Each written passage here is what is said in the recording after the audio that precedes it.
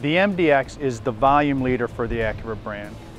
We've perfected it over the last couple of generations to the vehicle that we're going to be launching next month. It embodies the Acura brand, smart luxury purchase, a vehicle full of technology, fuel efficiency, and safety at a great price. I gotta tell you, the new MDX is the best Acura I've driven in the last 20 years, and that's because it's just so comfortable.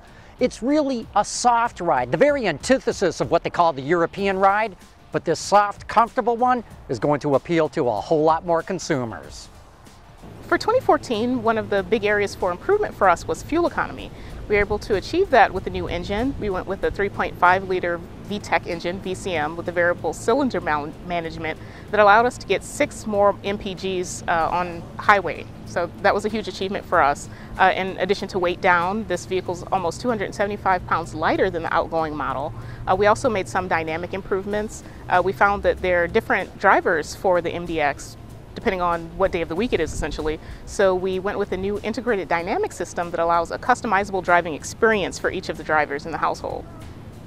Well, I think from a dynamic standpoint, the noise and vibration improvements are really significant.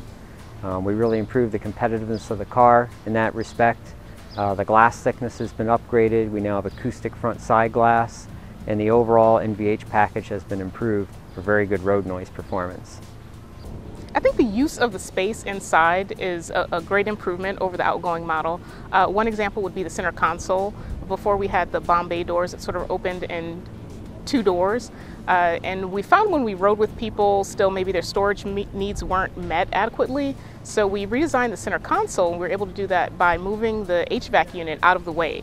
So this new center console is two and a half times larger than the outgoing model with uh, modules inside various trays in the cavernous opening so that people can put things like bags, purses, even iPads inside.